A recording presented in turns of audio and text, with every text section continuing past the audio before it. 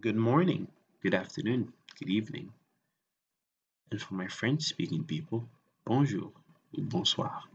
How are you today? I'm feeling super right now. I feel like a real YouTuber. We just hit 100 subs, so let's go, ladies and gentlemen. Um, yeah, so I'll be making a special video for you guys, but I don't know what I could do. So maybe you can hit me up on Instagram at Hakz TV. Uh, links in the description. Okay, so let's jump right in to what we're going to be doing today. So today we're going to be talking about Flexbox, right? So basically, what is Flexbox? If you watch my previous video, you're going to know what Flexbox is because I hinted at it. But right, so what is Flexbox? Okay, Flexbox is a one-dimensional layout method that has one format, either a row or a column. A row or a column. It's basic, one-dimensional, like one-dimensional and 1D, like flat, flat, basically. And yeah, so let's, um, I'm also going to mention why we use Flexbox. I kind of mentioned it before in my previous video, but I'm going to recap. All right. So like now we're going to be talking about why we use Flexbox. So um, Flexbox is here to basically create layouts just like CSS grids. But before people used to use floats um, and positions like before, but it was it's not really clean code and it can get clunky and whatnot. So Flexbox was introduced before CSS grids. I forgot to mention that in the previous video, I think. So I'm reading my I'm redeeming myself now. So the disadvantage of the positions and floats was that like the more complex things you must build, the harder it is to position and use floats, you know, because you have to use like you have to add every single position's details in the various elements, which is hard. But with Flexbox and CSS Grid, you can easily do that.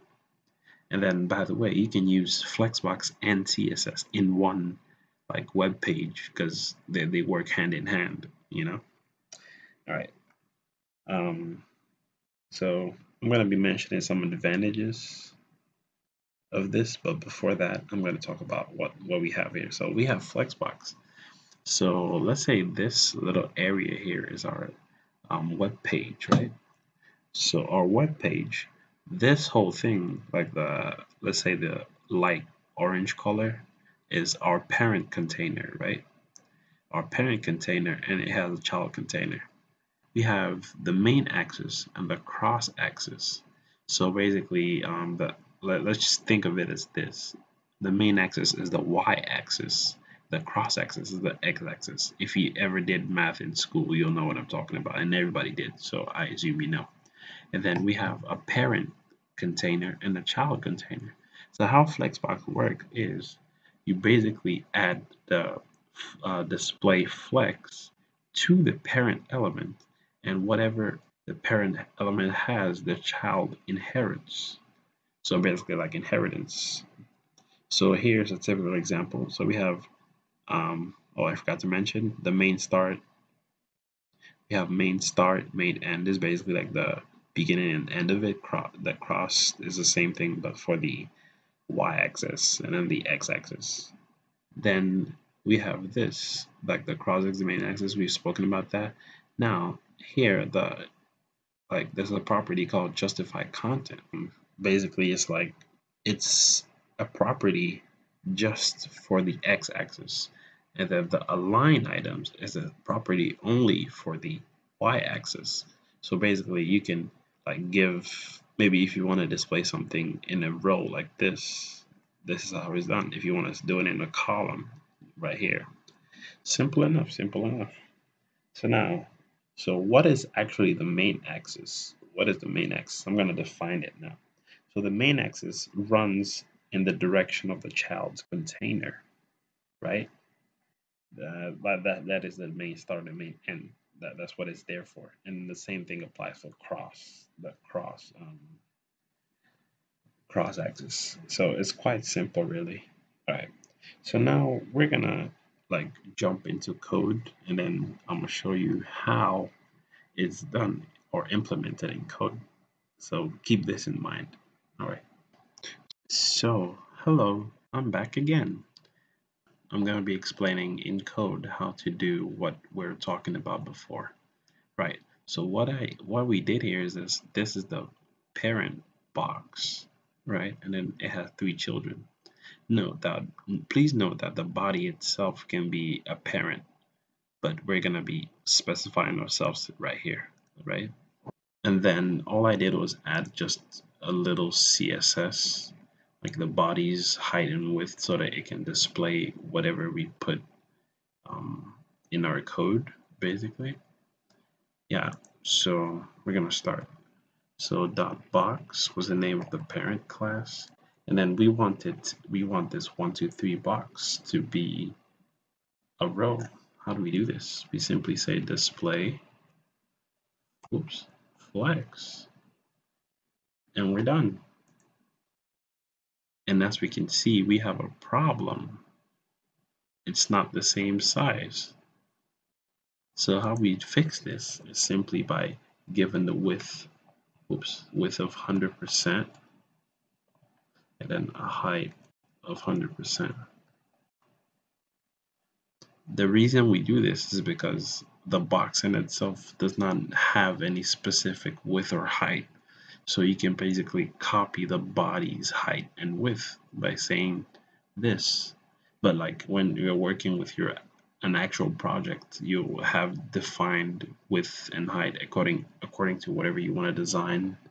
That's your preference, but I'm just using this for, for an example. Please note this is not clean CSS. Thank you. Right, so we have this. We're happy. Nice, cool. What if you want to center this right here, right? How, well, how we do this is simply by given, whoops, um, yeah, so what if you want to center this right here, right?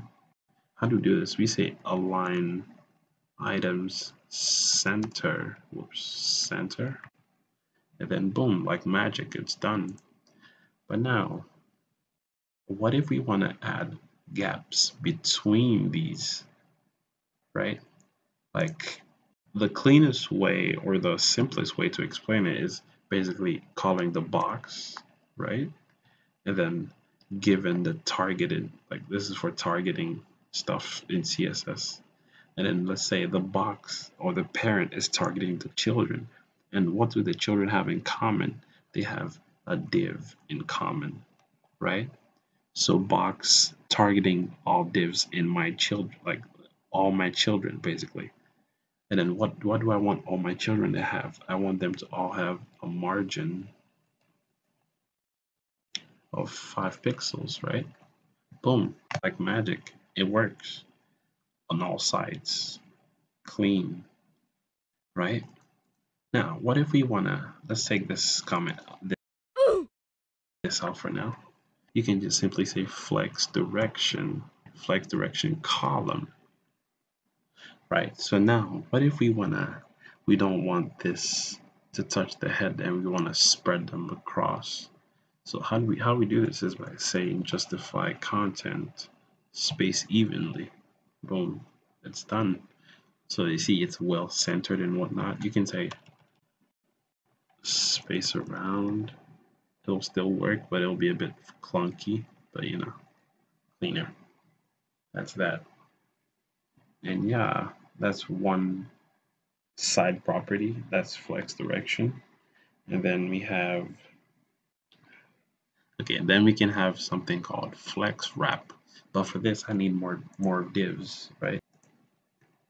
Okay, I'm back again. Sorry, I was trying to explain the flex wrap, but I had to type the whole thing again.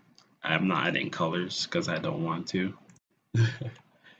oh my god, eight.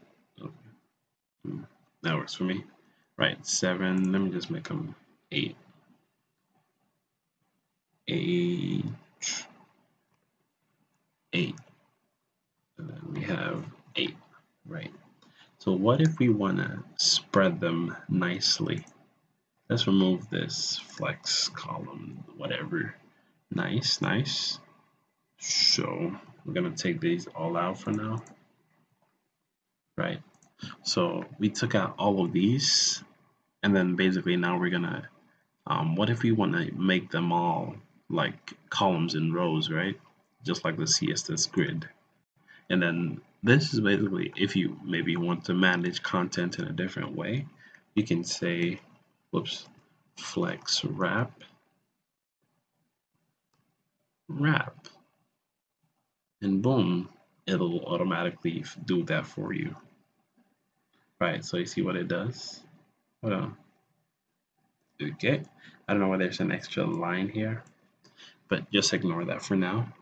Okay. So now that you see we have one two three four five six seven eight in a nice column and row fashion. That's sim very simple. That's wrap flex wrap. You can say flex no wrap and whatnot. But like basically it just does the same thing. Back to normal so it's not really that super useful but with wrap you can do this. So that's flex wrap you can say wrap reverse. And what this does is basically reverse the order of your boxes. So from one like one was on top. Let me uh, hold on. This. Then see where the one is? Boom come down here very simple. So that's that. Then basically that's it. You can that that's what we can do.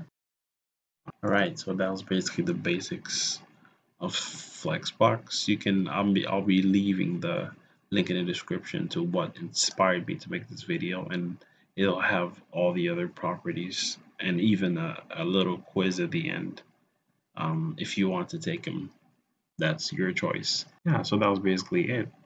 Uh, thank you for watching. Subscribe if you're new. Like the video. Comment what you think and what I should do next. And yeah if you want if you're trying to uh, reach me for anything my socials are going to be down in the description. Um, yeah thank you. Have a great day. Peace